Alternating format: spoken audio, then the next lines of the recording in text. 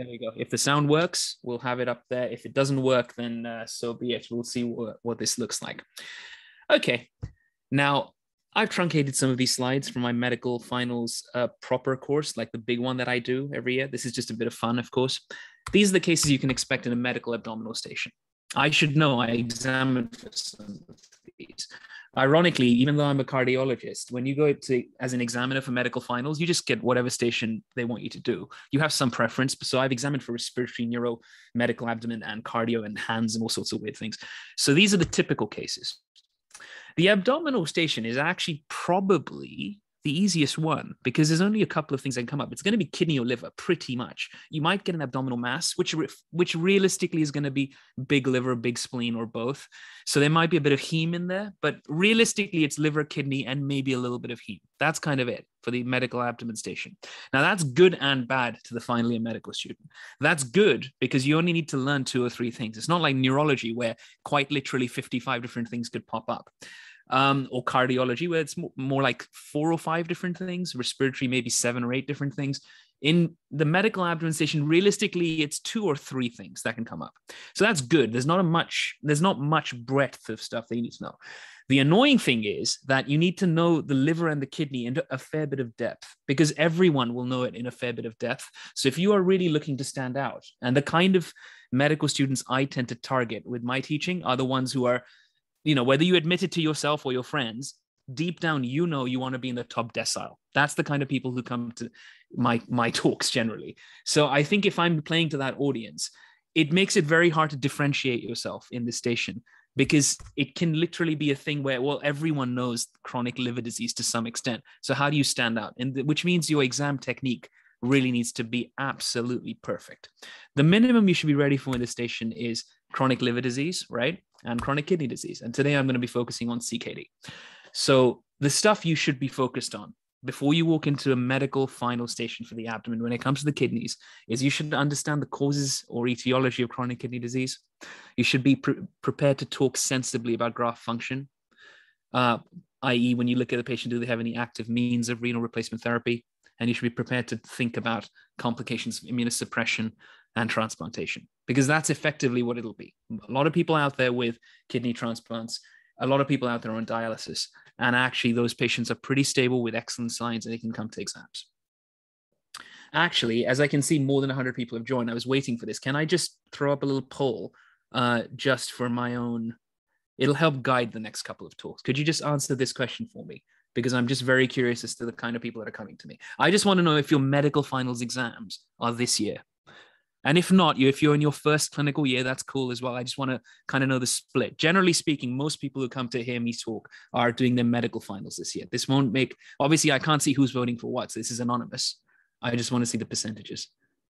Okay, thank you. Just out of interest, there you go. So you are well, you're in good company. Most of you, 76 out of 94 people who responded, are doing your medical finals this year, and a minority, 19%, are doing clinical exams this year. So first year OSCEs kind of thing, first clinical year OSCEs, but not. You're very, very, this may be more advanced. That's completely, completely honest. Um, there's no doing first year OSCE kind of revision because that's really just one third of finals and finals is one third of well MRCP. So it's I I kind of think it's all the same thing. So it doesn't really matter. Okay, inspection in the renal station. Now I'm not going to teach you how to examine the whole abdomen because if you're final years and that's kind of what I'm aiming towards, you know how to examine an abdomen. You don't need me to go through it every little bits and pieces. I'm just going to tell you some basic things you mustn't miss. You must absolutely look for anemia because it's a key it's a key complication of of uh, renal failure. Uh, because of the lack of erythropoietin. So you must look for the anemia uh, in the sclera of the eyes. It's absolutely key. Now, it's not necessary. I've seen people do this for some reason. Uh, you don't need to pull down both eyelids. I can't see how one eye would be different to the other. So just pull down one eyelid uh, to look for anemia. That's perfectly sufficient. There's no need to look in both eyes because, well, it's unlikely one eye will be lying to you. So it doesn't really make any sense. There's this quite specific sign, Lindsay's nails um, which I did not know as a medical student. So I did perfectly fine in medical finals without knowing this. You don't have to know this. I suppose I'm just saying this to you uh, because uh, as a more senior doctor, you learn this sign is quite useful. The half and half nails or Lindsay's nails uh, is a very specific sign for renal disease. You may have read about Beau's lines and other things. Beau's lines are very non-specific. It can happen in lots of things, including uh, calcium disorders, parathyroid disorders. Uh, you can get Beau's lines from chemotherapy and indeed renal disease. So they're not a very useful sign clinically. It can happen from 50 different things, whereas Lindsay's nails are relatively specific for renal disease. Just give me one second while I fiddle with the settings of the Zoom. Just one moment. I'm just going to stop allowing participants to start video because someone I think tried to by accident. It's not a comment on you. It's just so it doesn't interrupt the talk. Sorry about this. Let me just put this on the side. Uh, one little screen to share with Zoom. There we go. In the hands, you want to put, focus beyond the nails on signs of a fine tremor, which will be a sign of cyclosporin therapy. Signs of uh, diabetes, so finger prick testing for uh, your BMs. There may, of course, be a, glucom- uh, uh, a glucose monitor on the bedside, so keep your eyes open around the bed for that as well. It's pretty important because not only can uh, diabetes be considered one of the biggest causes uh, of end stage renal disease in, well, most of the world, certainly in the UK. But furthermore, you can get diabetic as a complication of being on steroid therapy uh, for your renal transplantation. So it could be secondary to that. So it, there is a decent chance that you, you will be at least insulin resistant. And don't forget, just because if it's an abdomen, don't forget to at least mention that you want to look at the jugular venous uh, pulse. And the reason for doing that, and for that, you will have to sit the patient at 45 degrees. Most students uh, when I'm the examiner, most students will, you know, lie the patient flat to start the exam and then get to the face and say, I'd like to check the JVP and move the patient for that. At that stage, I'll tell the, uh, I'll tell the student, you don't need to do that, just move on. But I need to hear you say that so I can tick the box that you said it. Uh, you need to see the JVP. JVP can only be seen at 45 degrees. So I can't give you the mark unless you at least say that. Uh, and I won't waste your time by making you do it because time is kind of ticking by in an OSCE station.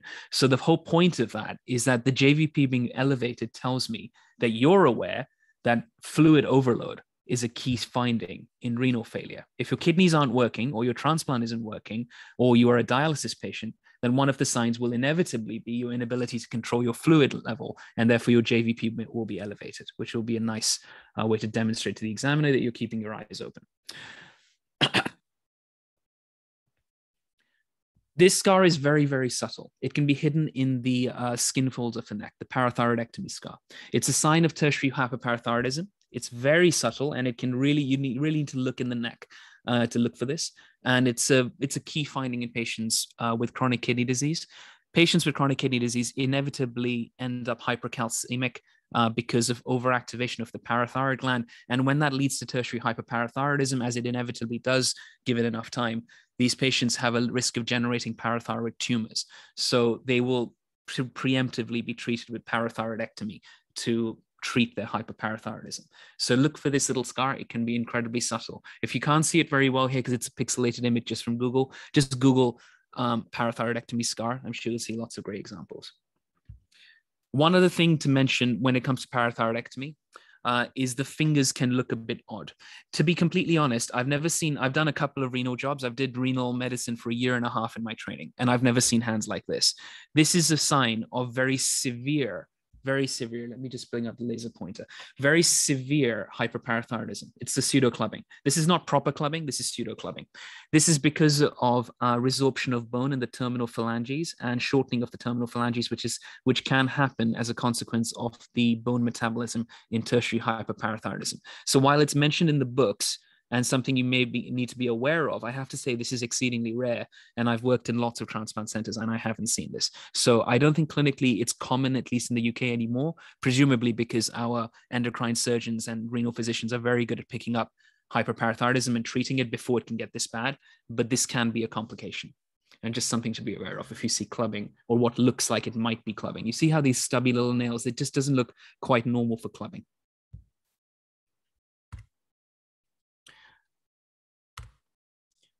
You may well on inspection see this, right? This is uh, an AV fistula. an arteriovenous fistula.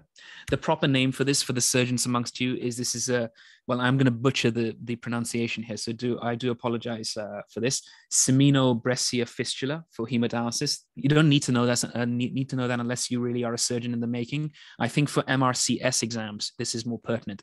Um, as embarrassing as it is to me now, I wanted to be a surgeon way back when, so I was preparing for MRCS exams, and surgeons are all about naming scars and naming things really well. So this is one of the things that uh, is in all the MRCS books. One of the, the only pertinent question to a medic when they look at a fistula like this is, is the fistula working? That's really all that matters. And it's a key question in medical finals. You see a fistula, you say, the patient has a fistula, and I pause you and I say, uh, what, what would be the signs that the fistula is working, or how could you tell the fistula is working? Well, a working fistula will have blood flow in it. So it'll be a pulsatile thing. So you, when you palpate it, uh, it'll be pulsatile. You may even feel the thrill of blood flow. If you listen over it, you'll hear a machinery like murmur or a bruit, uh, which is the blood flow from the arterial to the venous system. And you may see signs like this patient has of bruising, which would be signs that there's been some recent use of the fistula. So it's, it's probably working if someone's tried to stick a needle in there and put this patient onto dialysis. Complications of fistulas like this, well, they can clot off um, because there's blood there. Blood can clot off. Uh, you can have high pressure in the venous system, venous hypertension distally. That's generally avoided by these surgeons because they will uh, they will ligate off the distal cephalic vein, which is what this is made from. This is made from the radial artery and the cephalic vein being joined up. So they'll normally ligate off well, they, they should ligate off the uh, distal cephalic vein to stop venous hypertension. But say a branch gets missed or isn't fully done, they can have venous hypertension. So the arm becomes suffused and red. That'll happen normally very quickly after the fistula is formed. So you'll know pretty early. And long term, there can be high output cardiac failure. Uh, which is essentially a complication because you've made an abnormal connection between the arterial and venous systems. And therefore, without a capillary network to dampen down your perfusion pressure, you can have basically free flow of blood from A to V, and that can lead to high output cardiac failure. In, in practice, all that means is the patient will be pretty tachycardic at rest. Okay. There are some signs you can uh, look for to actually demonstrate that at the bedside, but those are signs I would not expect a medical student to be able to quote. If you're very curious, I can tell you right at the end. Uh, again, it's more of an MRCS thing. So, membership of surgical exams after graduation, it's really not something I would expect a medical student to quote to me. Um, you can, of course, have dialysis catheters in place. Non-tunneled versus tunneled. I do apologize how pixelated this is. I was just looking for an open source image on Google. So tunneled catheters are different from non-tunneled because they have a cuff. They have a cuff and they go to a big central vein uh, and effectively they are less likely to get infected because there is a cuff and that's uh, that's the benefit of a tunneled line they can just be in for years and years whereas non-tunneled lines are like emergency lines that say i would stick in an a&e or something or an intensive care doctor might do in an intensive care unit uh, for emergency uh, filtration or hemodialysis. These are generally meant to be changed every five days or so, whereas a tunneled line can stay in for absolutely years. They're meant to be long term things.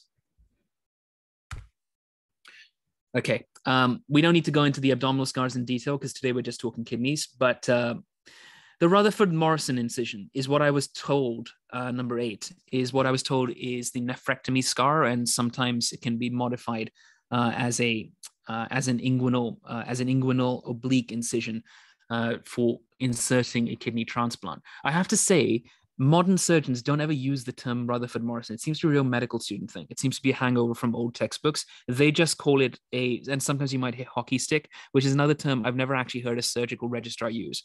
It's just something that doesn't seem to be a practical everyday occurrence in hospitals. But medical students get taught it, so you might as well learn it. Rutherford Morison is typically your nephrectomy scar, and it'll go around here and may, may extend to the back.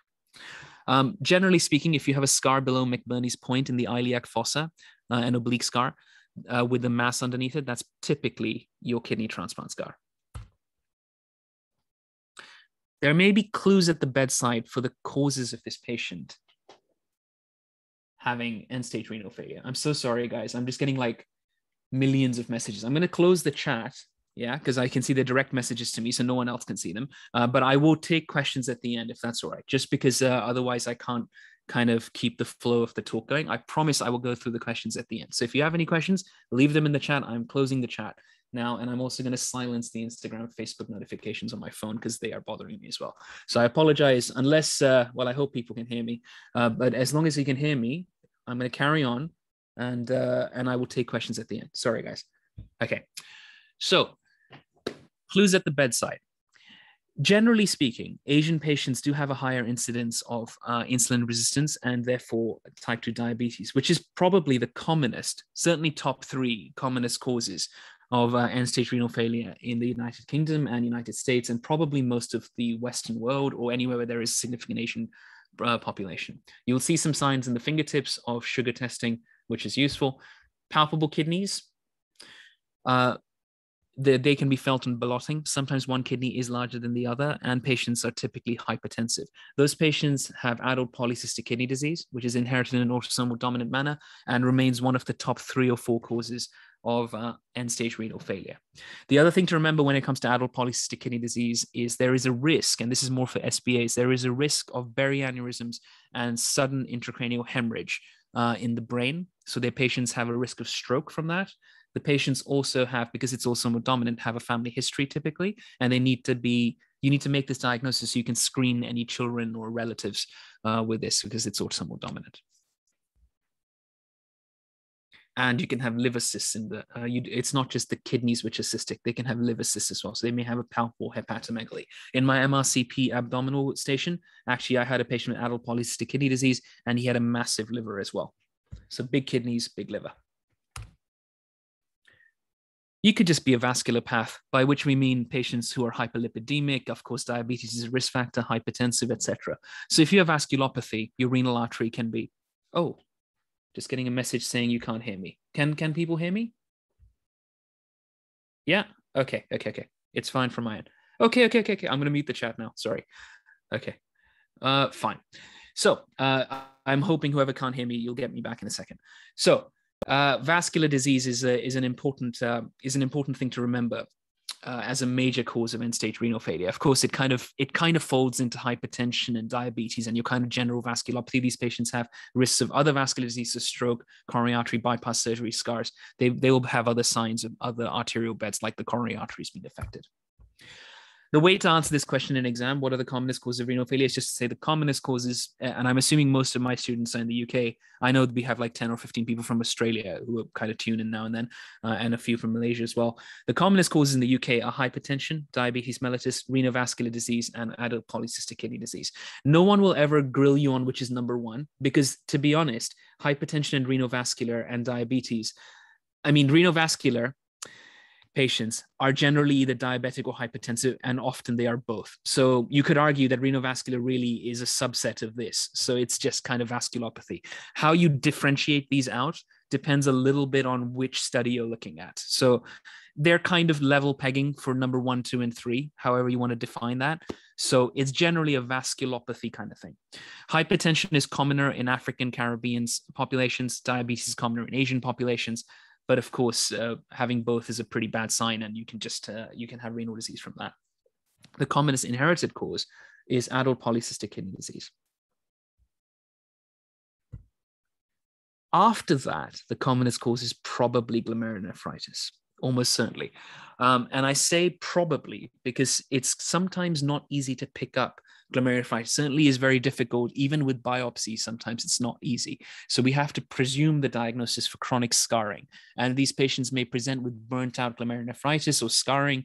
I mean, I had a patient once who came in uh, who was only 30 something actually and had had chronic headaches and migraines. And they'd been taking ibuprofen four or five times a day over the counter for about 15 years and they came in with a creatinine of 700 and the only thing we could come up with as a cause was probably that they had scarred their kidneys with NSAIDs just chronic use of NSAIDs it's very very hard to make that distinction even on biopsy but that was the consensus. So it can be a little difficult to know exactly what the cause is. Sometimes they just crash land with end stage renal failure and it's not very clear as to what the exact etiology was other things you need to be aware of are complications of immunosuppression. General immunosuppressive therapy after transplant involves three agents. You need to give them a steroid, which is normally prednisolone. You need to give them some anti-T cell therapy, which in the UK is normally tacrolimus or cyclosporin. In some centers, it's cyclosporin. In other centers, they like tacrolimus. This is a little bit dependent on which renal team you're with. There, there are local preferences on this. Anti-proliferative agents, generally speaking, MMF um, uh, is now the commonest use uh, agent. Azathioprine has kind of died away, but uh, and that's probably a good thing. Azathioprine used to be associated with anemia, liver fibrosis, lots of uh, lots of bone marrow issues. So MMF is a little better tolerated and is generally the one most most centers will now use. There may be some complications of immunosuppression. Steroids will cause hypertension, diabetes. Uh, the, on the bedside, you will see signs of, of easy bruising and violaceous striae. I have to say, renal patients on steroids after a transplant tend not to become Cushingoid. They tend not to become Cushingoid because the steroid dose just isn't high enough to do that. They generally are on a low dose steroid long term. So that generally doesn't cause them to become overtly Cushingoid. But you may see some purplish um, stretch marks on their abdomen, which, which generally happens even on a low dose extra steroid. With cyclosporin, one thing to remember, which is really classic for finals and for the SBAs, for the OSCEs and the SBAs, is gum hypertrophy. Uh, and uh, that's a really, really important one to not forget because consultants love asking that question. I love asking that question. So do remember that one. They can have a tremor. Sorry, there should be a comma there. They can have peripheral neuropathy and hypertension from cyclosporin. Tacrolimus increases your risk of uh, becoming insulin resistant and type 2 diabetic. And tacrolimus can also cause a fine tremor, but not as pronounced as with cyclosporin.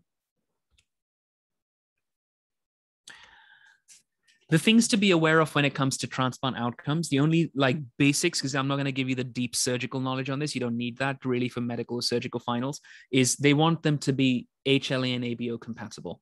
If you aren't abo compatible you're looking at hyperacute rejection. So at the very least the blood groups have to match. And generally speaking they want them to be as well hla matched as possible as well so human leukocyte antigen uh, sensitization is, uh, is something they worry about. You want to avoid multiple transfusions in these patients. The more transfusions of blood you give them, the more chances that they will have um, sensitization to HLA antigens and therefore be more likely to reject a future kidney. It's just something to be aware of as a junior doctor that if your patient isn't particularly symptomatic, maybe you can tolerate the hemoglobin of 74, right? You can kind of be permissive with that. So it's it's just a case of if you aim for a really high transfusion limit, say we want to get them to 80 or 90, which generally we don't. 70 something is probably fine for a chronic kidney disease patient because you want to limit their transfusions and work on the EPO and iron replacement, which is probably a better kind of option for them.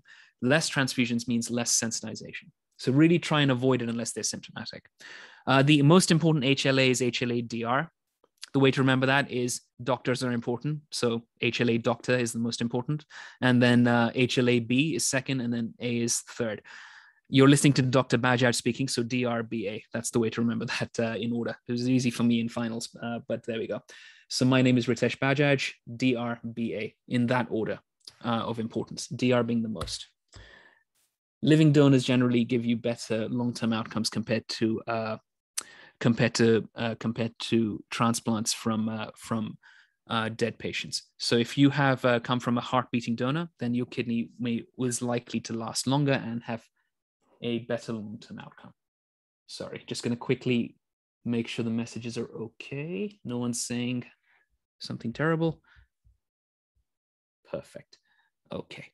I will come back to any questions at the end, guys. Sorry, I don't want to. I don't want to slow down because uh, I keep getting the only negative comment I seem to get is, "Oh, you go, went on too long," uh, which I'm trying to avoid. But uh, if I don't go on too long, then you'll be like, "Oh, you didn't cover that much." So it's hard for me to get it within an hour and cover an entire topic unless I go on a little bit. We'll go an hour and 15 today by my estimation. So just be prepared for that.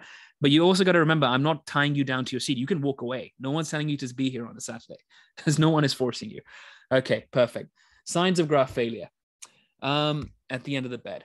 To be completely honest, this is more of an A&E thing, but tenderness or heat over the graft is a sign of rejection. You're not going to get that in your medical finals OSCE. Otherwise, that would be quite worrying. Uh, generally, patients will be very stable there. But if a patient pops up to A&E a good sign of rejection will be heat over the graft. Tenderness is a little bit more complicated because the graft will not have the same nerve supply. So they may not feel the pain. There may be pain around it from very overt inflammation. So there may be some kind of heat and warmth, and the patient might feel pain because there is some inflammatory activity in that area. So around there, you might activate nerves, but the actual graft itself won't have any nerve supply. So they may not have many symptoms of pain. It's not a great sign, I have to say. Uh, I mean, if you're feeling pain or for a transplant, it's probably fairly late. That means you've got a big problem going on. Heat over the graft is a good sign of rejection. You can tell if the graft's failed if the patient has any active renal replacement therapy methods right now. A patient with a working graft will not need to have their fistula needled. So if they've got a fistula uh, with signs of use, like a needle has been stuck in, or they have an active Tesio catheter in place with a graft, that means one of two things. That means uh, or a Tenckhoff catheter in the abdomen.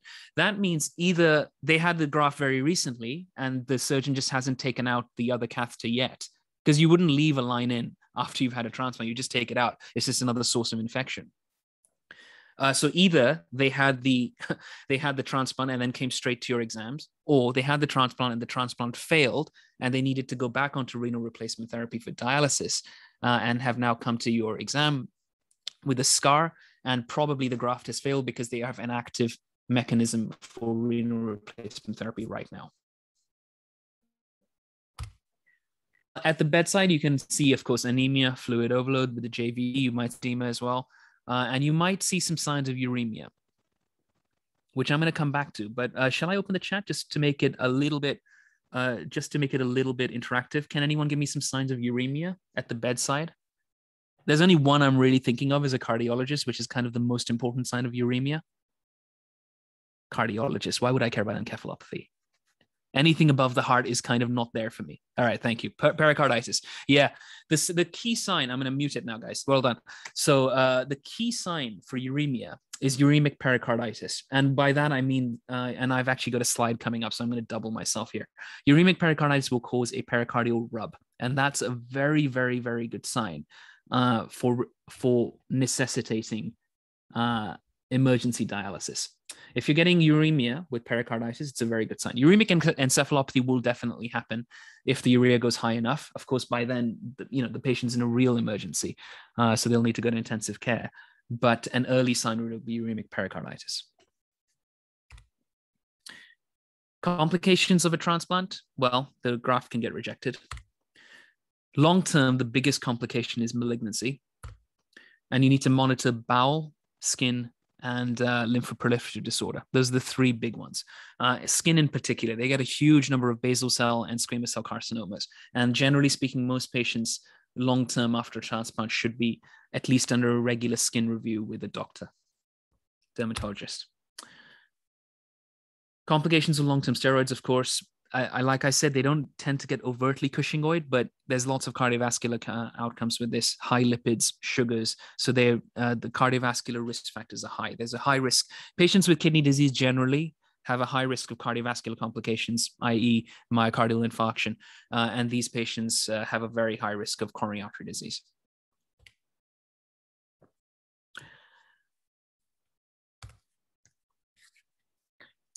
adult polycystic kidney disease patients are really, really good to bring to history stations as well as OSCEs. Just be aware in the history, the only thing to be uh, to really look out for uh, is a history of loin pain. There may be overt hematuria, and the patients will be chronically hypertensive as well. And the reason for the hypertension is that the um, polycystic kidneys are producing a lot of erythropoietin uh, just because of the cysts. The cysts produce lots of EPO, and they'll be hypertensive. Sorry, not EPO, excuse me. Uh, they'll be producing a lot of renin, uh, and the renin will make them hypertensive.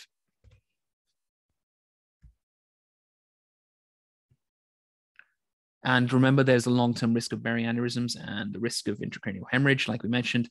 Uh, the generally, the one thing I haven't put on this slide is generally patients with adult polycystic kidney disease have to have uh, family screening. The typical family screening method is a renal ultrasound, which is a good way of seeing if their if their children or any other relatives have polycystic kidneys. It's a good way to look for it without using any uh, radiation. There is a uh, cardiac complication of adult polycystic kidney disease. Does anyone want to mention it if I open the chat very quickly? A cardiac complication of adult polycystic kidney disease, which is fairly, you know, it's not uncommon. Yeah, Kush uh, says, uh, sorry, someone says mitral regurgitation. I shouldn't put your name on on blast like that. Uh, yeah, it's actually mi- mitral valve prolapse more than mitral regurg. So that's correct. MVP. About one, four, one fourth of patients will have mitral valve prolapse. Whether that extends all the way to mitral regurgitation, uh, not always. Mitral valve prolapse, i.e., the uh, mitral valve leaflet just bows into the left atrium with a little bit of regurgitation, that might happen. But overt MR is fairly rare. So it tends to be mitral valve prolapse. Okay, let's do an SBA. Let's see if this will work. Uh-huh, uh-huh, uh-huh. Okay. I have to say, I've picked these at random from questions I've written over the years. This is a really annoying question because it's not like a sexy thing where it's like, oh yeah, Wegener's granulomatosis with cool antibodies and blah blah blah. Because everyone loves those. That's the thing everyone studies for. Stuff like this is what people get wrong on the exam because this is a really kind of boringish question. You're like, oh, do I need to look at this? The point is, your exam will have stuff like this in there, and you need to have a little think about how to answer basic management questions as well.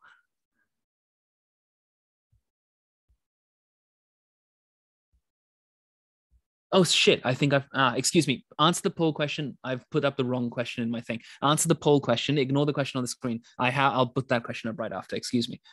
I'm using the boring diabetic question first. Use that one first. In fact, let me see if I can. I think it's the next slide. Sorry about that. I've just put them the wrong way around. Here we go. Uh, I'll. Yeah, that's the correct slide. Excuse me. I'll put up that question in a moment. But why don't we answer this boring one first? Okay. And Paul, I think that's sufficient time. The options are for this. Okay. Diabetic patient presents to his GP for routine checkup. The observations are heart rate of 72, blood pressure 138, 85. The urine dipstick is fine. And a urine albumin creatinine ratio is taken, which returns at 72. What's the best treatment option? So, uh, why don't I open up the chat a little bit? I want to have a little more interaction with you guys. What do we think about that albumin to creatinine ratio? High, low, normal. Yeah, it's high. The albumin creatinine ratio is, is fairly high. What is a normal albumin to creatinine ratio? Yeah, that's pretty correct. So everyone's sharing it there. We can see it on the chat. Excellent. So what is the treatment option here? I'll share the results with you. You can see why this is a good question for finals because this creates a lot of ambiguity. Lots of people, uh, lots of people disagree with each other here. This patient has signs of uh, albuminuria, microalbuminuria, because he's within 30 to 300, above 300 milligrams per millimole. Uh, that would be consistent with nephrotic syndrome. So he isn't quite nephrotic yet, but he does have microalbuminuria with diabetes. This patient needs to have uh, control of his albumin. And the number one thing you can do there is to add in some ramipril. That is the best way to preserve kidneys in diabetic patients. The ramipril, or rather ACE inhibitors in general, and ARBs actually, uh, will preserve your kidneys and reduce uh, the tendency to microalbuminuria and reduce protein loss and will reduce the deterioration of kidneys. And it's something every diabetic patient needs to be monitored for very carefully. If the albumin to creatinine ratio rises, i.e., goes above 30, then you need to consider them for an ACE inhibitor or an ARB. There is no evidence for a low protein diet. Uh, sticking a, needle into his kidney is probably not ideal, as there is a small risk you will uh, lose the kidney. Uh, so it's not great for a guy who's like kind of relatively fine, uh, and he's just walked in. So sticking a needle into the kidney not ideal at this stage. Uh, but I can I can see we're being aggressive, uh, but that's okay. repeat the test in one week. Well, I don't think that's going to make any difference. Review in six months yeah, I mean, unfortunately, that might well happen uh, in uh, lots of uh, lots of practices, but is really not great uh, medical practice because it's kind of ignoring the guidelines. So I think we should treat this guy with some ramipril. I think that would be the best thing, because the only thing that'll happen is if you leave this guy for six months, he's going to probably have well he's going to keep leaking protein. The protein itself is nephrotoxic and he's just going to have worse and worse and worse glomerulopathy. And at that stage when he comes back and you do a blood test his creatinine will now be 150 now you've got a patient with chronic kidney disease. So actually it's uh, it's really not great. So we need to treat this guy uh, and uh, not ignore it Perfect. Why don't I pull up the actual question I was going to show you so we can do, do with that one? Sorry about that. I've just mixed up my questions.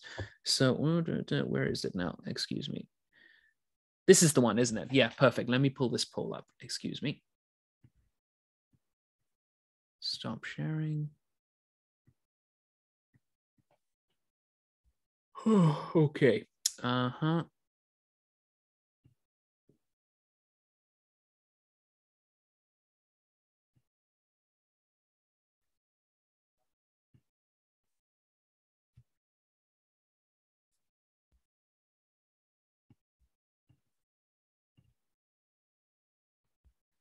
Ah, someone's asking me about the units. The units I'm using are always going to be uh, UK units. So in the last one, uh, let me just think now. What is uh, so the units in the last one were the SI units. Now what are the UK units? Thirty to three hundred.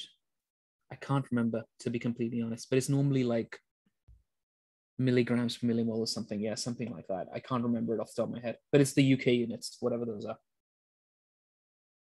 I think it's milligrams per millimole. I think it's milligrams per millimole. Thank you. So, uh, I think, guys, I'm struggling to bring up this question. I don't know why it's not clicking. Come on, nephrotic. Nephrotic. Okay. Just give me two seconds. I'm going to have to edit this stupid poll and Can I stop sharing for two seconds and just fix the poll question? One moment. Give me two seconds.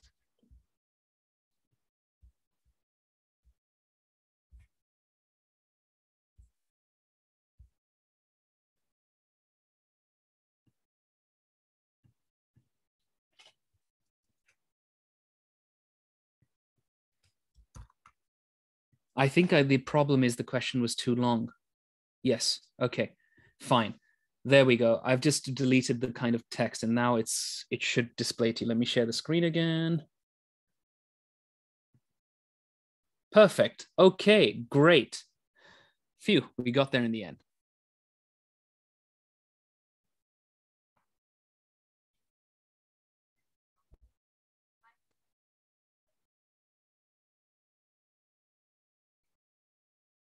Excellent. I'm going to end the poll there because actually this is relatively, I don't want to say it's easy because I don't want to, um, actually, it's not that easy. It seems that people are really struggling with this.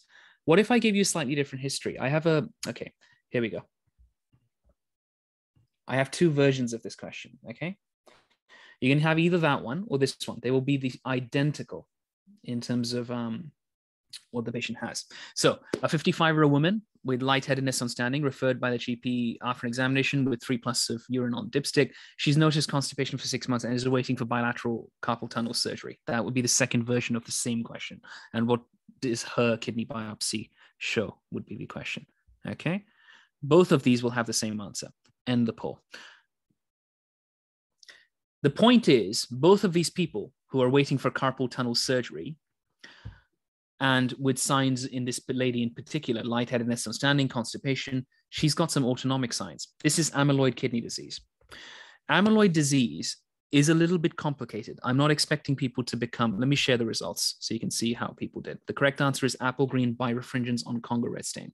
Apple green birefringence on uh, Congo red stain is a typical finding for amyloid protein. Amyloid kidney disease is complex. You don't need to know it in great, great depth. There is an inherited version and there is an acquired version. The inherited version is called TTR amyloid. The acquired one is typically associated with lymphoproliferative disorders and, in particular, myeloma, which is probably the thing that most medical students will be familiar with. But amyloidosis is a fairly complex kind of issue in its own way.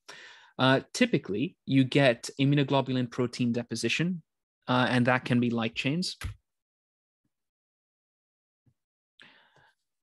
Those proteins can deposit anywhere. They can go into the heart and you can get pericardial effusions and you can get restrictive cardiomyopathy. They can end up in the uh, in the carpal tunnels bilaterally, and typically you get this f- funny history of bilateral carpal tunnel syndrome, which is a really odd thing. The other thing they can have is a macroglossia. The tongue can become very large, so a large tongue is typical. They can have autonomic dysfunction because the protein, uh, amyloid protein, can deposit in nerves, and you get a neuropathy and they can deposit in the kidneys and the patient can become nephrotic. Typically, it's a cause of nephrotic syndrome. Which brings me nicely onto nephrotic syndrome. Nephrotic syndrome is typified um, in blood tests as a patient having low albumin and high cholesterol, massive proteinuria, greater than 3.5 grams per day, or, uh, or a protein to creatinine ratio of above 300, hypoalbuminemia, so less than 30 grams per liter. And if you're that hypoalbuminemic, you'll also eventually get leukonychia as well, and peripheral edema. And the reason you're getting peripheral edema and ascites typically is because you have loss of oncotic pressure. The thing in the history that's very typical with nephrotic syndrome, beyond this kind of funny story of frothy urine, which actually most patients don't really notice that because I well, why would you? You most people just don't notice, wouldn't notice that. What they'll find is that early in the morning they'll have facial edema. Facial edema is a really, really kind of classic finding in this. Not many causes of kind of peripheral edema like heart failure will cause edema of the face. Facial edema is, is relatively specific as a clinical finding uh, in nephrotic syndrome. It's a really odd finding. To be honest, I've never seen it in anything except nephrotic syndrome. And I see lots of patients with heart failure, but they don't tend to have facial edema. They have edema of the legs. They get this pitting edema in the feet, but they don't get facial edema. And sometimes all the way up to the abdomen, but not the face. Uh, there are two big causes of nephrotic syndrome that come up in SBAs. So minimal change disease is the commonest cause in children. And you'll see this description of podocyte uh, fusion on electron microscopy. I'm not expecting you to become experts on kidney biopsy interpretation because that's just not required uh, in junior doctors. But this phrase pops up again and again in SBAs, and therefore I'm putting it here. I don't really believe this is useful, to be completely honest, uh, for doctors to know because I think generally speaking, this kind of thing is looked at by you know techs who are experts in this and renal physicians and they have uh, you know they give you a diagnosis as opposed to we give to a junior doctor an electron microscopy slide and say right what's this no one ever does that. So i think uh, i personally don't think this is a particularly useful thing for doctors to know but just know it because it does pop up in sbas the treatment for minimal change disease is steroids and it's generally a, a disease of relatively young people. Membranous glomerulonephritis is the commonest cause uh, for nephrotic syndrome in adults the treatment for those patients is ACE inhibitors. And there is now a relatively new antibody. It was new kind of when I started writing these slides several years ago, but it's not so new anymore. Uh, we're looking for anti phospholipase A2 receptor antibodies, which identifies very specifically and sensitively about 70% of people with membranous glomerulonephritis. It's relatively new. I don't think it's filtered down to lots of SBAs just yet, but I can see it coming around the corner because this is going to be a new thing that becomes like a routine thing that we all do. So just start looking at it now because I suspect if you're using older question banks, this will not appear in many places yet, but it is coming. I know because I write SBAs, so I think it is coming. Um, remember that patients with nephrotic syndrome have an increased risk of thrombosis. The reason for that is that when you have nephrotic syndrome, you start losing all of your useful protein. And the reason you also get hypercholesterolemia, for instance, is you use your lipoprotein. And if you don't have lipoprotein in the blood, you can't bind your cholesterol. So you have free cholesterol, which is just much higher. Uh, and you basically also have thrombosis because you lose antithrombin 3, protein C, protein S, all of that just gets peed out. And therefore, you have a higher risk of venous thrombosis as well. So these patients have a high risk of DVTs. This next one isn't an SBA. I just wanted to see if people know the answer to this. I asked this in my the last time I did abdominal final. Um, uh, where's the chat? The last time I did abdominal um, at a medical abdominal station, I just threw this at the medical students. There was one guy who got it right. I have to say, quite impressive, uh, and I think he went on to get the prize that year. Uh, but this is like 2018 or something. It's been a while. So, what electrolyte change might you see with low albumin? I can see someone's direct messaged it to me and it's correct. You might as well put it on the group chat and get the glory there.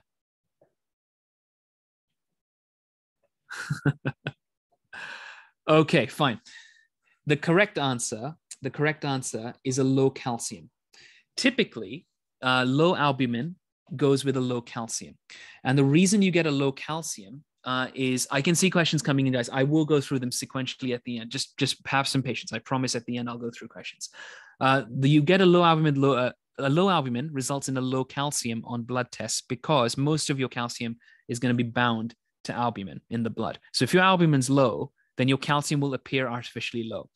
Do, is the patient therefore hypocalcemic with Chvostek sign and Trousseau sign and you know all the tetany and all of that? No, they are not, because typically, if your albumin is low, and your uh, therefore your blood test says okay calcium therefore low because albumin's low because it's looking at basically bound albumin your free ionized calcium might actually be normal. So the patient won't actually be clinically hypocalcemic. They won't have any of the uh, signs and risk of seizures and all that. The way to check that is to just do an arterial blood gas or a venous gas to look at what their ionized calcium is, which is what most ABG machines will give it to you, uh, the ionized calcium.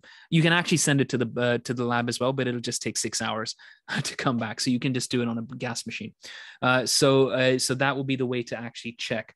Uh, if your albumin is um, if your albumin is artificially making your calcium look lower. Okay, fine. Well, next question. Let me pull up the polls. I have to say, I'm always surprised by the things that people get right and wrong. The stuff that I would have assumed is easy.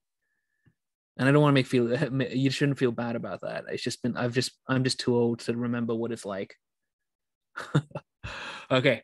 So so so let ah this one will share. Come on, launch. It's interesting when it's too long. I don't know if it's just the units or something. Something Zoom doesn't like. It just doesn't share. This one does share. Okay. A 78 year old or an 78 year old for some reason uh, is admitted following a prolonged seizure. He's dehydrated. The CK is elevated to 50,000 uh, and the serum creatinine is 240 I, I don't know what that is in UK. It's micromoles per liter or something, uh, millimoles per liter. Electrolytes demonstrate uh, potassium of 5.9, uh, normal range being 3.5 to 5, phosphate of 2.2, normal range is 0.8 to 1.5. Uh, his urine dip is positive for blood. Which one of the following results is also likely on biochemistry? Well, some of this is moot, of course, but there we go. You can see I was running out of options because I've kind of made one really moot. I love the fact people still going for hypophosphatemia. You have noticed that the phosphate's high in the question, right? Like I that was an accident of mine that I shouldn't have put that as an option. And yet people are going for hypophosphatemia. The phosphate's high, so it's probably not that one. Okay, Shelby, it's really interesting to me because I think, okay, if you have been following me on uh, Instagram, I'm pretty sure I've done a question exactly on this at some point. Now, I'm not saying you haven't been doing your homework, but one of my SBAs from several weeks ago is exactly on this question. Uh, not the exact same wording, but it's pretty much this uh, pathology, and it explains it. I thought it explained it well. Maybe the SBA doesn't explain it well. That's the problem. Uh, okay, let's. Maybe it's my fault. There we go. Uh, okay, the answer uh, in this case, and you can see. Am I sharing the results? Let me share results. There we go. You can see it's a decent split the one uh, answer that everyone, the consensus answer uh, for 48% of people uh, is hypocalcemia. That is indeed the correct answer. Okay, this is a case of rhabdomyolysis. Okay, and we can see that uh, this is rhabdomyolysis because this is a patient who's had a seizure. The other thing you may have is a patient who's come in with a long lie in inverted commas. I hate that because it's a very A and E term. Um, but anyone who's had a fall and not gotten up for a while, we may have rhabdomyolysis as well. Let's go through rhabdomyolysis in a bit more detail. When you have rhabdomyolysis, your muscles leak uh, myoglobin. Uh, that myoglobin is directly nephrotoxic. It can result in acute tubular necrosis uh, pathologically. You also get phosphate leaking from inside your cells. Your cells are full of phosphate, uh, and your muscle cells are full of phosphate and myoglobin. Both of those things will bind up your calcium, and your calcium will drop. Uh, because your cells are leaking phosphate, the phosphate therefore goes up, which is why this patient, as I've already told you, has a phosphate which is above normal. Uh, that's why. The other thing the cells are full of is potassium. So they're hyperkalemic, hyperphosphatemic, and hypocalcemic. Patients uh, have a high CK, as this patient has. They have a hyperkalemia and this can happen after seizures or fall. In the textbooks, you'll see this mentioned.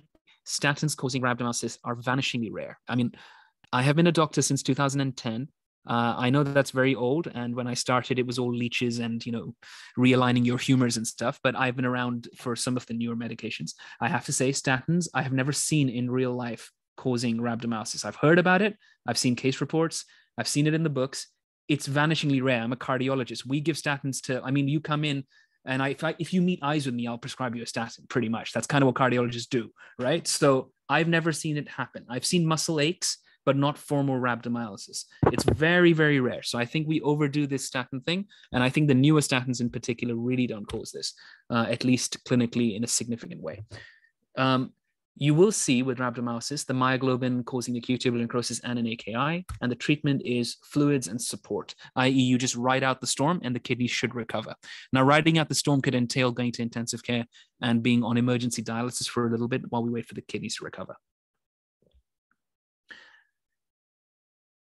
Yes, I okay. I'm going to answer this question very, very quickly. Electrolyte changes in rhabdo is similar to tumor syndrome. It exactly is. Yes, exactly, because it's a similar kind of principle that you've had apoptosis or in that case necrosis of cells, and everything intracellular just flies out. The only thing different with rhabdo is you've got a double hit because the myoglobin is going to do a similar kind of thing.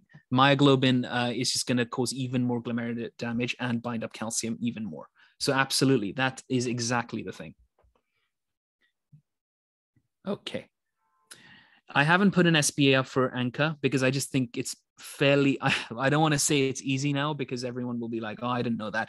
It, okay, if you don't know it, you'll know it by the end of this slide. I haven't put an SBA on this because I just thought it's well, you, you'll get it from people who do easier lectures. Any vasculitis, absolutely any cause of vascular inflammation can affect the kidneys and cause a glomerulonephritis. And typically, you get the story of fevers, rashes, and kidney disease. That's vasculitis, generally speaking. If you think about why that's happening, it's pretty common sense. The reason is vasculitis is inflammation of the vasculature, right? It's vasculitis. So it's inflammation of the vasculature.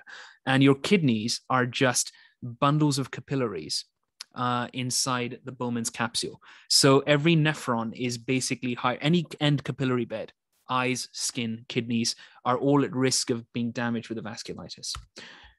C-ANCA with the new and the newer name PR3, which is basically just C-ANCA, right, uh, is associated with Wegener's. Wegener's is an older term, I must admit, from like 2009, 2010. It's now generally referred to as granulomatosis polyangiitis. These are these are interchangeable. Older SBAs were called it Wegener's, but Wegener was a Nazi, so now we use GPA. Um, is associated with nasal bridge collapse, sinusitis, and lung hemorrhage, and renal failure. P-ANCA, also known as MPO antibody, is associated with Churg-Strauss syndrome and microscopic polyangiitis. Churg-Strauss is quite interesting, and you need to remember, remember just one odd bit about the history with Churg-Strauss. I'm sorry to go a rheumatology on you in a renal lecture, but to be completely honest, if we're going to talk renal vasculitis, you have to know a little bit of rheumatology and antibodies when it comes to that. Churg-Strauss gives you this very odd history of an asthma-like kind of wheeze like syndrome for a while. These patients are not responsive to the typical asthma therapies. So they have this funny wheeze, which a lot of people on history may think sounds like asthma. It does sound like asthma. Uh, then if you do their blood test, the eosinophils tend to be up, which is of course something you might see in atopic asthma as well. So it's very easy to make this mistake.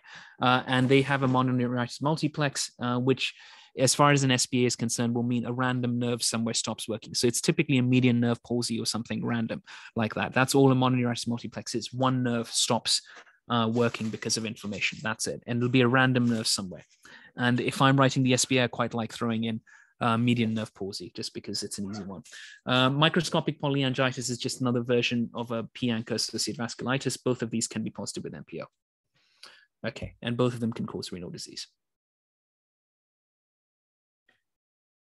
Okay, okay, okay. Let me pull up this SBA for you and we'll go through it.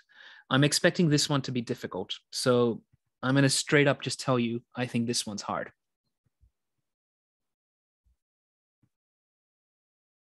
Okay, launch.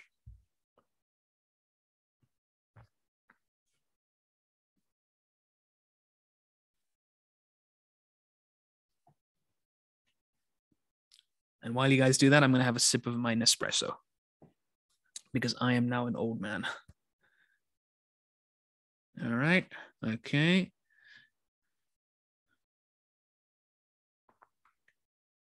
Okay. Interesting. well, I expected it to be difficult, to be fair. All right, I'm going to give you five seconds because otherwise it's just dead air and I'm going to get bored just pick something. I can't see who's picking what. Only you will know you what you picked, so no one will know. You might as well just go with it.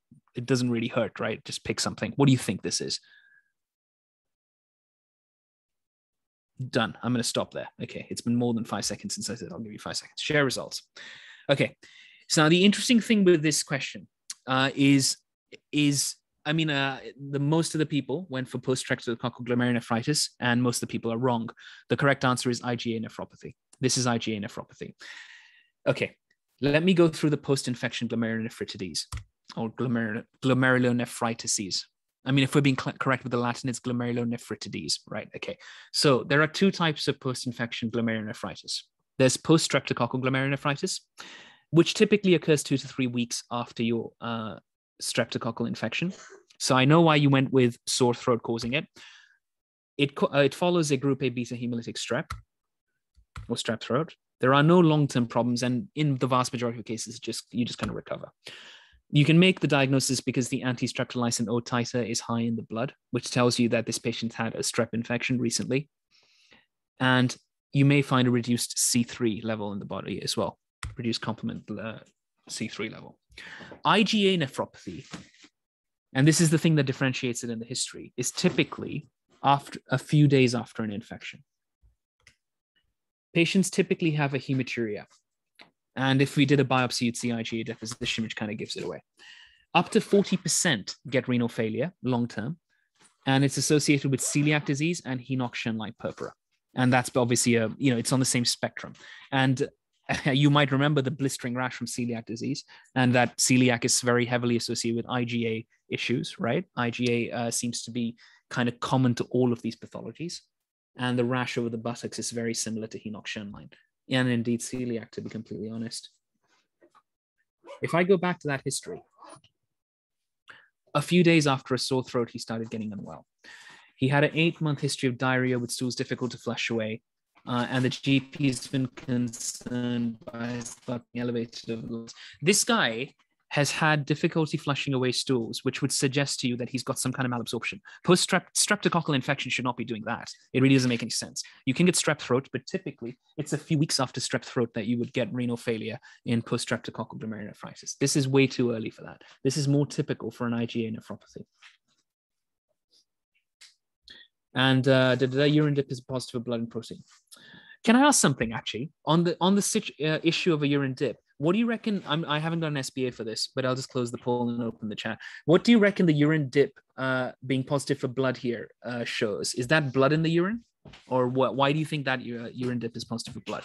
This guy with the seizure, or the long lie, or whatever we want to call it. Yeah, myoglobin. Myoglobin can make you have a positive urine dip for blood, even though there's no blood in there. That's exactly right. It's one of the differentials for having a urine dipstick that's positive for blood is the fact that it's myoglobin. It can make it falsely positive. So this may actually not be blood. It's hard to know. It's myoglobin. All right, let's keep going. Da, da, da. Where is the slide now? Okay. Glomerulonephritis the key finding with glomerulonephritis, the absolute pathognomonic thing, like if we read this in an SBA, it's glomerulonephritis, you don't need to read any further, is red cell casts. That's pathognomonic for glomerulonephritis. If you see that in an SBA, it's glomerulonephritis. Typically, patients have a history of hematuria and hypertension. There are other causes of glomerulonephritis other than the ones I've kind of already mentioned. There's anti-glomerular basement membrane disease, which is called Goodpasture's, which I'm sure you've run into again and again in SBAs uh, and typically that's associated with lung hemorrhage and hematuria. Just be aware that that story is relatively similar to uh, granulomatosis, where you can also get lung hemorrhage and uh, glomerulonephritis, which may cause a bit of hematuria. The thing that's different with Wegener's, of course, is that your C-ANCA or PR3 uh, positive, and uh, you have a sinusitis as well. That's the key differentiator there. You can get analgesic uh, glomerulonephritis long term because of renal papillary necrosis, and that is a little bit of an odd one. Uh, it's to be completely honest with you, I've never fully understood this. I mean, I I keep reading papers that explain that it's renal papillary necrosis because of ischemic damage, blah blah blah. But I I have found it a little bit difficult to get wrap my head around exactly why the path is happening that way. Uh, to be completely honest, it's some kind of coagulative necrosis of the renal papillary, and it's it's associated with a variety of causes typically NSAIDs. There are some hereditary renal syndromes that you need to be aware of. There's the classic one, which is Alport syndrome, which is sensorineural deafness associated with renal failure. Excuse me. Uh, and this is a issue with type 4 collagen uh, that patients are born with. Now, type 4 collagen can be found in the ears and the kidneys, uh, and which is why uh, this is the combination you get. You can actually also get type 4 collagen in the eyes, and they, these patients do also get eye abnormalities as well. Polycystic kidney disease, we've mentioned. There are two versions. There's autosomal dominant, which is much, much, much commoner than autosomal recessive. Uh, and we've already mentioned the risk of subarachnoid hemorrhage, intracranial hemorrhage because of berry aneurysms. Von Hippel-Lindau syndrome uh, is relatively rare. Uh, it's autosomal dominant and it predisposes you to uh, renal cell carcinoma and other cancers as well, and pheochromocytoma and it's due to an abnormality in the von Hippel-Lindau gene. I have to say, I found this. Uh, I don't really remember my chromosomes very well. I was never one of those medical students, you know, the ones who are like, "Oh yeah, that's chromosome 16's short arm," and blah blah blah. I was never one of those people. But this one I do remember is chromosome three because VHL is three letters, and this was on chromosome three, and that was how I remembered it. I, I remember that one, if nothing else. The VHL gene is located on the. Actually, it is the short arm of chromosome three, and I remember it's the short arm because the V is written small and everything else is capitalized. So short V three, short arm of chromosome three, uh, and that was how. That, see, it's stupid, but that's how I remember it, uh, and it's autosomal dominant. And finally, I'm going to discuss a little bit about um, TMA. Very, very, very briefly. I have to say the scope of this talk. Let me just see where we are for time. I'm sure I'm going to overrun now. Yeah, it's just gone 12. So I do apologize, guys. I know I said I wouldn't overrun, and I have overrun again. I'm going to keep going if that's okay. But obviously, if you want to leave, I can't stop you. You can just go. I have no idea who's staying or going. But I'm going to finish these last like four or five slides because I think they are useful, and uh, the most useful bit is coming up. Um, can anyone tell me in the chat uh, what uh, TMA stands for?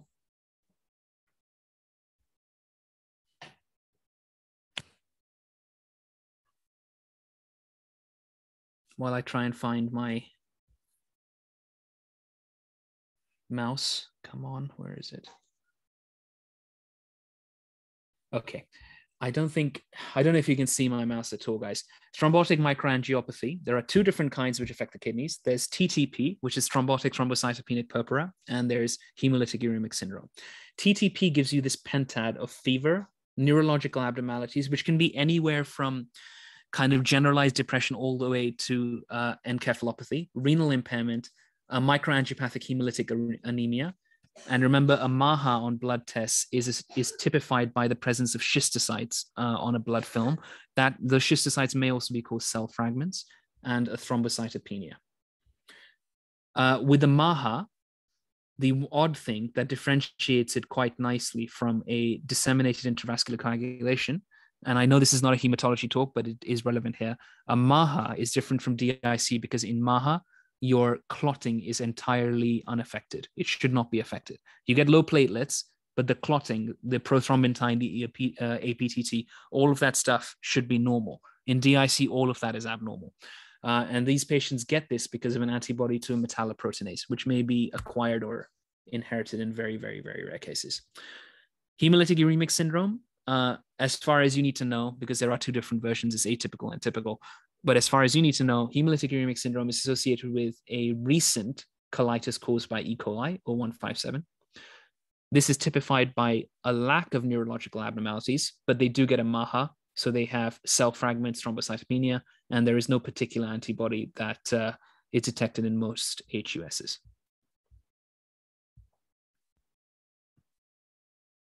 Okay, now, why am I going to give you this clinical scenario and talk you through it?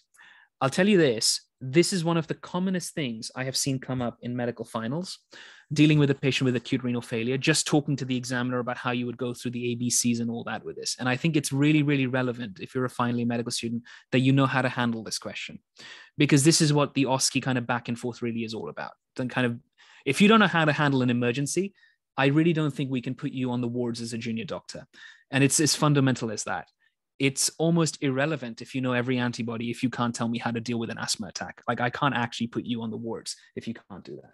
Most people, I should rush to add, will pass this, right? 99.99%. No one, uh, you know, it's very, very, very unlikely to fail uh, medical finals. But dealing with this in a way that's competent and makes you look very impressive can be a little bit tricky because it's um, well, it just is a little bit harder to handle this kind of question because it's it's pure clinical medicine with like someone who knows much more clinical medicine potentially than you do, frankly, right? Doctors just have been around for a bit longer. Patient presents unwell for a few days, comes into hospital, nurses note he hasn't passed urine all day. And this is a really typical junior doctor scenario. And I can see a couple of people who are listening to me who came to my medical finals course last year. It's good to see you again. I presume everyone passed uh, and you're just here because you're enjoying it. I hope uh, that's the reason you're here. But you will remember uh, that this, this, if you're a junior doctor on the wards, nurses will call you with this, uh, you know, once a week. This is a typical junior doctor scenario. Like this is what happened to me every week, no matter what job I did. This is very classic, and it always happens at 5:30 p.m. on a Friday. That's typically when it happens. So you assess this patient. Do your ABCs. Uh, make sure he's alert um, and ask him if he wants to pee. Like you can just ask him if he wants to pee. Uh, and he may obviously say he's obstructed, you know, it's difficult passing urine, and that'll tell you the patient is likely to be obstructed. Uh, you examine the patient, right? You can check their heart rate, the blood pressure. The specific bit of exam that you want to get to is the abdomen and feel for a palpable bladder because of urinary retention. Uh, if there is a bladder scanner around the ward, it's useful to get that. That's an ultrasound scanner that most of the London medical hospitals that I've been exposed to have. And I think most hospitals probably have something like this, which is just a thing you put on the abdomen and nurses are trained to use it. You click one button, it tells you how much urine is there. You can get a residual urine volume basically. Uh, you do that, and the patient says he doesn't feel like peeing. He's a little tired sounding, but he's alert enough, and there's no palpable bladder. What do you want to do next? Well, I think it's useful at this stage to take some bloods. A gas uh, may would help. I think a blood gas is one of the most useful things in a situation like this because you want to see if he's acidotic. You want to check the electrolytes, particularly the potassium. I'm starting to worry about. If this guy is in renal failure, that's the one I'm really looking for. I want to make sure the potassium is safe at the very least, I can document that at whatever 5:45 p.m. the potassium was X, Y, or Z. So that's important to know. Glucose is generally helpful in anyone who's unwell. He was a bit tired sounding, so maybe we can check if he's hypoglycemic. I would catheterize this patient at this stage. He's not peeing and uh, he's got reduced urine output. He's oliguric. He needs to be catheterized to monitor his urine output. And at this stage, uh, generally the question comes up, what is normal urine output? Now, I'm not going to open the chat in the interest of time. Normal urine output is 0.5 mils per kilogram per hour. So generally speaking, for a 60 kilogram man with 60 kilograms without being significantly obese, I would expect a 60 kilogram man, which let's be frank, most men are not 60 kilograms. So we are lowballing it here, would be about 30 mils an hour, roughly. I'd expect 30 mils of hour uh, per hour of urine in a 60 kilogram man. So you can just uh, work it out by weight, half a mil per kilogram per hour. But as a rule of thumb, 30 mils per hour is the absolute minimum in the average person you should be expecting. So you need hourly urine output. Ask the nurses very kindly if they would start a urine output chart and monitor the urine output hourly. Uh, and any urine you do find, any drops that come out, you want to dipstick the urine because you're looking for blood and protein because you want to make sure this is not a glomerulonephritis or something you examine the patient, make sure he's not fluid overloaded. And by that, it's easy. You just look at the JVP. Does he have crackles in his chest? If he's not requiring oxygen to oxygenate, uh, he probably doesn't have pulmonary edema, as a very good rule of thumb. Then uh, you could try a little fluid challenge. And one question that always gets asked is how much you want to give. I personally never ever give more than 250 mils over an hour. I never do more than that unless the patient is actually tachycardic or lightheaded and has signs of hypovolemia. I only give small amounts of fluid because it's easier for me to give a little bit and add more. Uh, and it's safer than giving a liter and then the patient's in pulmonary edema and you're like, oh shit, how do I take that off now? It's much harder. So I give generally small amounts. So 250 mils over an hour is like one big glass of water. That's a reasonable amount to give, and uh, you can see what effect it has. AKI is defined by a 50% rise in creatinine from baseline, or any patient who's oliguric for at least six hours. And of course, there's another definition. This is from the textbook, uh, uh, or rather from the guideline, I should say.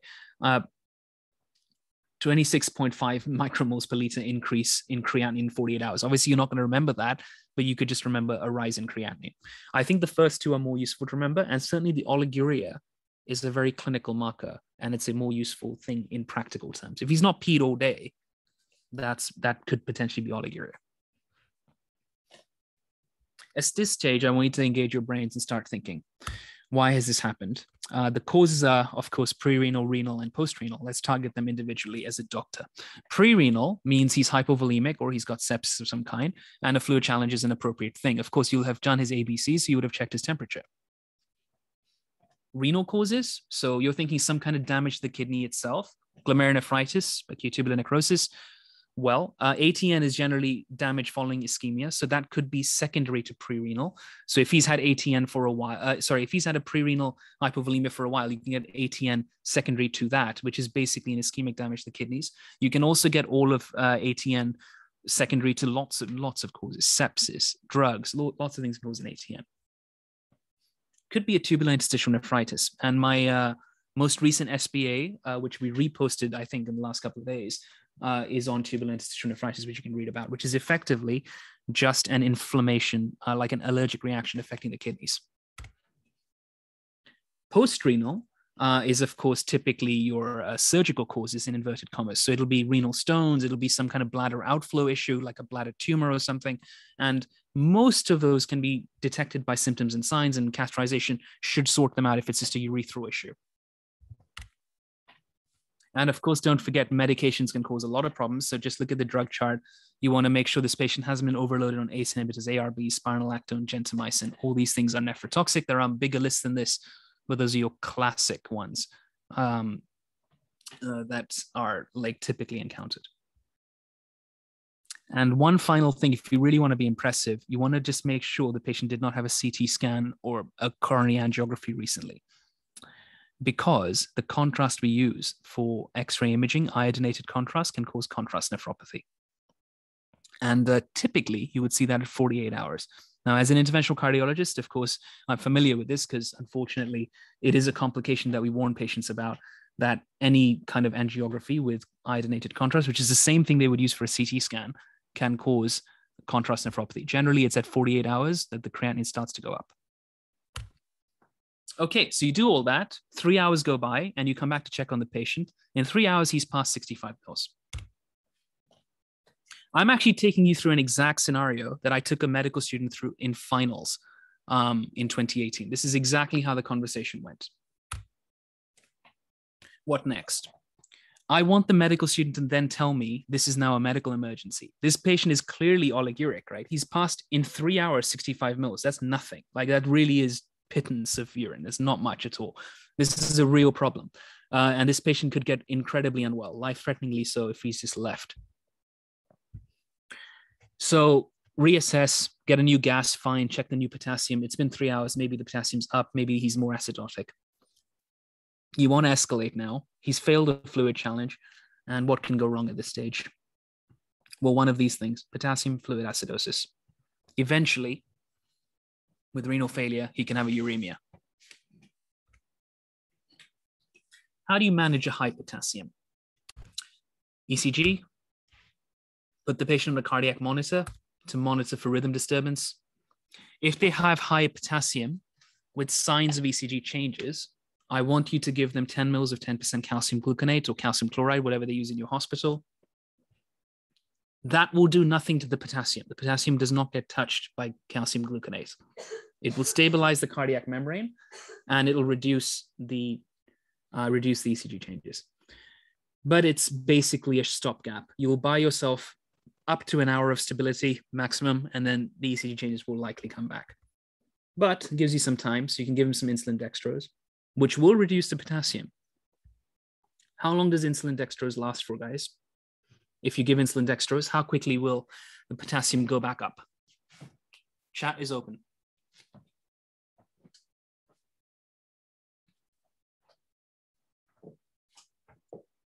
Yeah. So you give the insulin dextrose over an hour, right? But the the the effect of insulin dextrose is roughly about four to six hours. Unfortunately, your shift is eight hours. So you will need to come back in four hours and check on the patient. And I suspect you'll repeat the gas because you're a very good junior doctor who was trained by me. And then you will find that, huh, the potassium was five, then it was four, and now it's five again. So, or let's say six, six, four, six. And uh, unfortunately, insulin dextrose only lasts four to six hours. So it will definitely go back up. All you're doing with insulin dextrose is forcing the potassium into the cells, and then it'll just slowly leak back out again in about four to six hours. So, unfortunately, not long enough to pass it on to the next shift. It'll be your problem again very soon. In a real emergency, you can consider salbutamol nebulizers. That will reduce the potassium as well. So, unless your patient has a real contraindication to this, to beta agonists, you could consider some salbutamol nebs as a real emergency treatment. And I'm talking 6.57 potassiums. You could consider this. And if you've got more time to play with calcium, Resonium is a um, potassium binder you could consider using in their diet. Fundamentally, you can bring your potassium down by putting the patient onto dialysis or emergency filtration in an intensive care unit. And the final thing I'll throw at you, which is not for you to use uh, ever without discussion with a registrar, is to consider sodium bicarbonate. IV sodium bicarbonate will bring the potassium down, but this should come from a senior doctor. So, not from a junior doctor. It will work, but you are messing with the biochemistry quite a lot there. But it, in a real pinch, I have used it with some success. Which brings me on to indications for renal replacement therapy. And this is something I want every medical student to know uh, inside out, because this is one of those pass fail things. If you don't know this, this one slide, I really will struggle to pass people.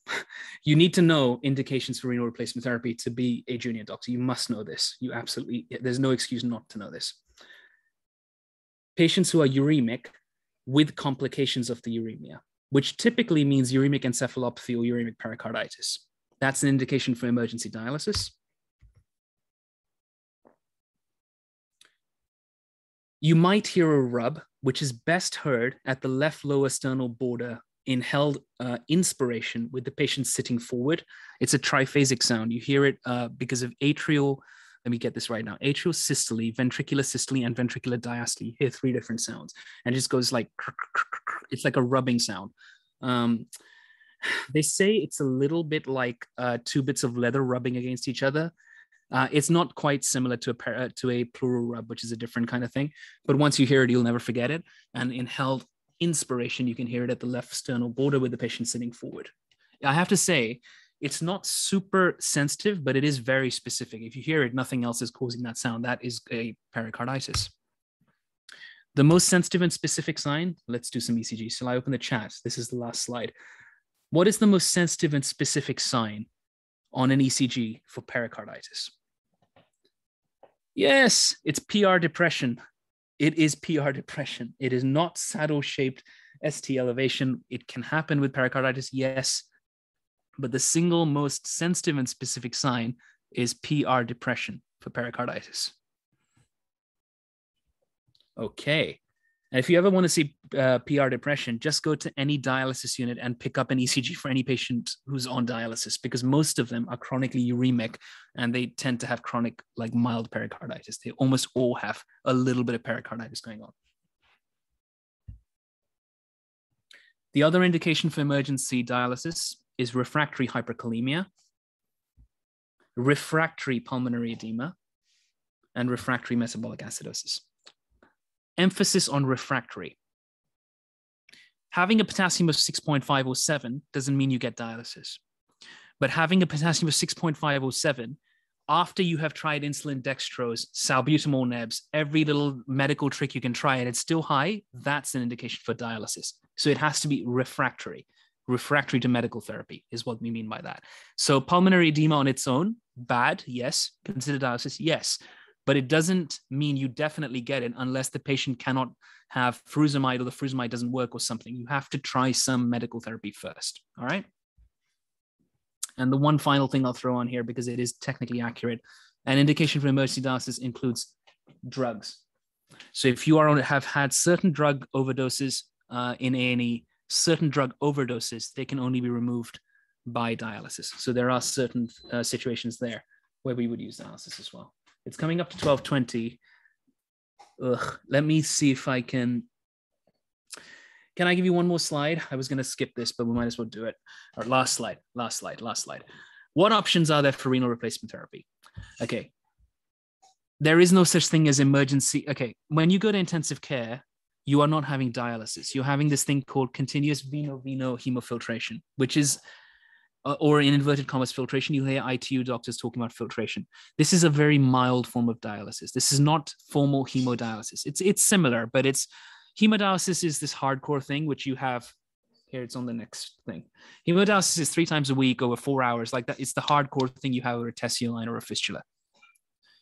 Filtration happens over 12 or 24 hours. It's much gentler and is more useful in an emergency because it's it's gentler on the cardiovascular system, so you don't drop the blood pressure, etc. Whereas hemodialysis is a little more kind of for outpatients who are relatively well with a decent blood pressure. It's much more cardiovascularly demanding to do that. So in an emergency, we generally don't do this. Crash landing onto dialysis in inverted commas requires normally a period on filtration, and then you get stepped down onto dialysis effectively. And remember, of course, with long term dialysis, there is a risk of endocarditis, particularly the tricuspid valve can get involved because that's the first valve you will encounter coming into the venous system. So it'll be the first valve that can get infected in the heart. So typically, as a cardiologist, we see this all the time. The risk of endocarditis is there.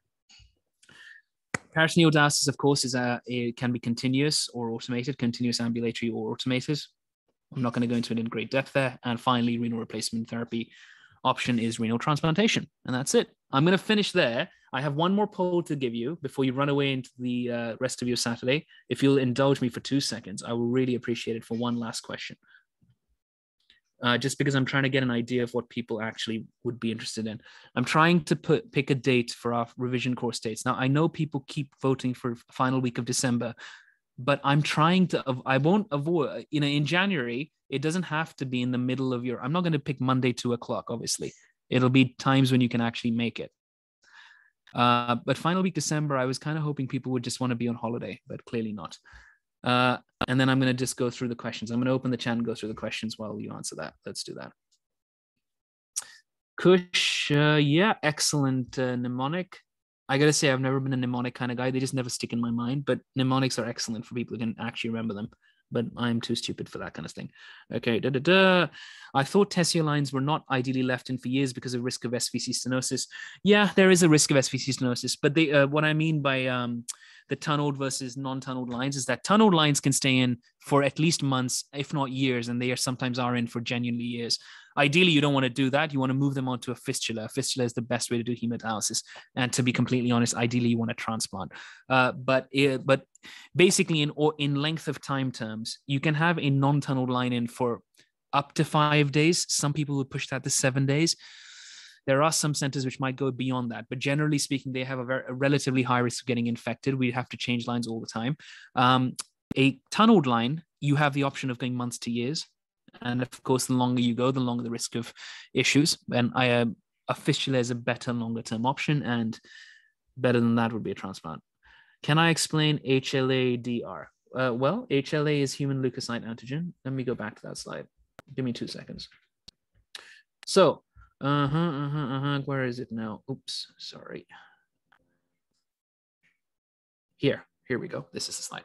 So human leukocyte antigen is just a, a major histocompatibility complex thing, which kind of demonstrates your uh, protein epitope to your own inflammatory, uh, your own immunological cells.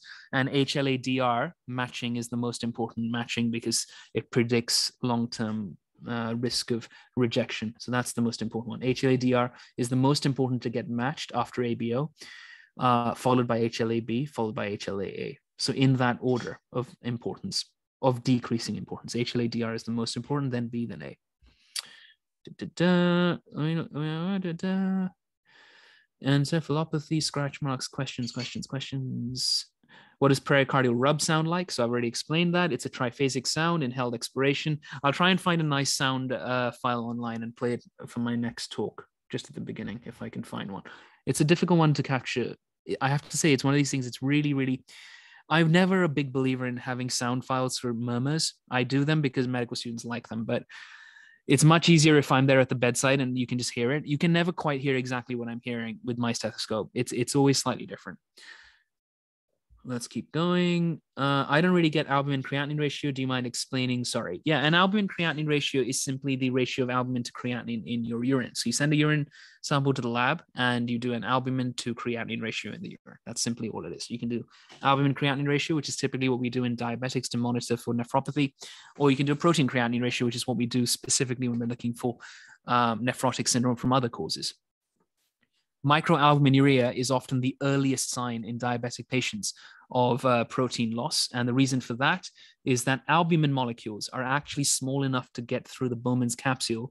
But generally speaking, they can't get through because the uh, layer of the basement membrane is negatively charged, which repels the albumin. So the earliest damage you can have to that membrane to let the albumin through, uh, so the earliest damage you can have to that membrane will only allow albumin through. Bigger proteins won't make it through there, but albumin will. So microalbuminuria is often the earliest sign of very early damage to the um, to the glomerular basement membrane, and it's just a fairly useful thing. To be completely honest, the scope of this talk, one hour ish, isn't really enough to go through a detailed path like that, and I don't think medical students need to know it in that level of depth. But it is, I have to say, uh, I do think the Bowman's capsule is my favorite part of the kidney, which I'm sure you're thinking, yeah, mine too. Yeah, and we are in good company there. Okay, let's keep going through. Uh, at the end, you said there's an increased risk of thrombosis in nephrotic syndrome. Why? Okay, so nephrotic syndrome has an increased risk of venous thrombosis. And the reason for that is that in nephrotic syndrome, you pee out a lot of the proteins in the blood which are controlling your coagulation cascade. You lose antithrombin 3, you lose protein C and S. And if you lose all of that, then you have a tendency to clot more than you have a tendency to bleed. Okay. And uh, someone says, nice one, Evan, which is awesome. Um, I don't know what that is referring to, but let's keep going.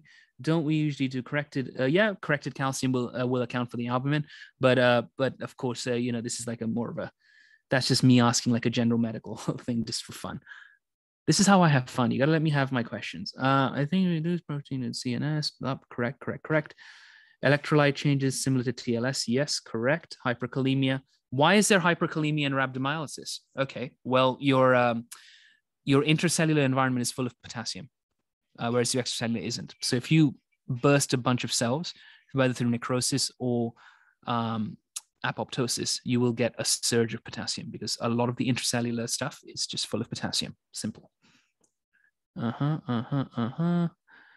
Okay, going through. Sorry, there's so many of these. Uh, I had made it interactive as well, so it's not your fault. Uh, what? Why does salbutamol help in hyperkalemia? Well, salbutamol causes your potassium to go intracellularly. Uh, it's it's to do with the receptors of the beta adrenoceptors. That's why salbutamol will cause uh, potassium to move intracellularly. How do some people use? I have seen some people use diuretics for hypokalemia. How often does this happen? Obviously, that's fine. There's a fine balance with further exacerbating the AKI. Yeah.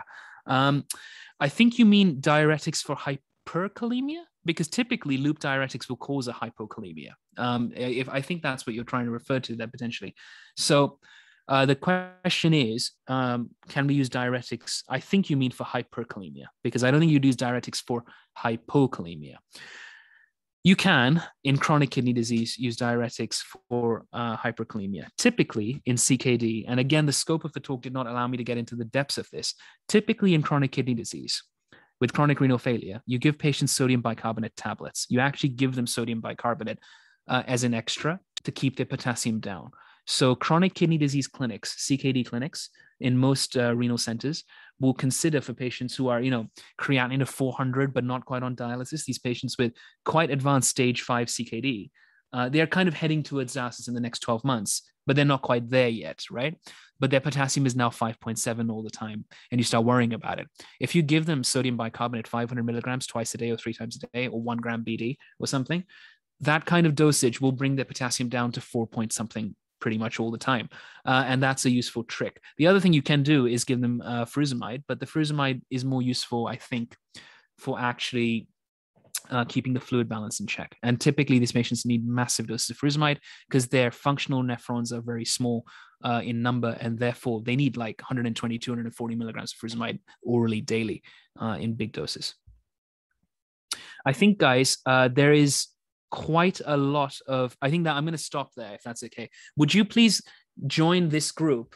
And if you have any questions, please, please, please post it there because some of the questions are really good and i like to like write kind of long explanatory answers so i'm going to put them on this group and start arranging them into gastro and respiratory and different topics i think that's the benefit of the group which i can't do on the page so do consider joining this group I hate social media. I think it's a terrible uh, like sickness in society, but I have no choice but to use it. So please do uh, use it. Uh, and uh, we can try and keep in touch through this platform, Facebook, which I absolutely hate and wish would go away. But please join this group. Okay, uh, last question. Then let me see.